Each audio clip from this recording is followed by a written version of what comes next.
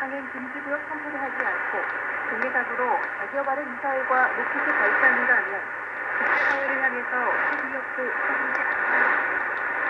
따라서 북한 당국은 국제사회의 위협으로부터 북한을 지키기 위한 방어적 수단이라고 수상하고 있습니다.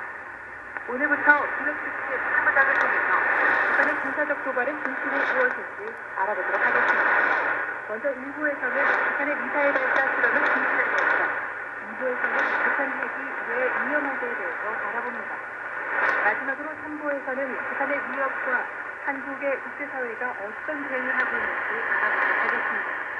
먼저 1부, 북한의 미사일 발사 실험이 어떤 문제를 가지는지 알아보도록 하겠습니다.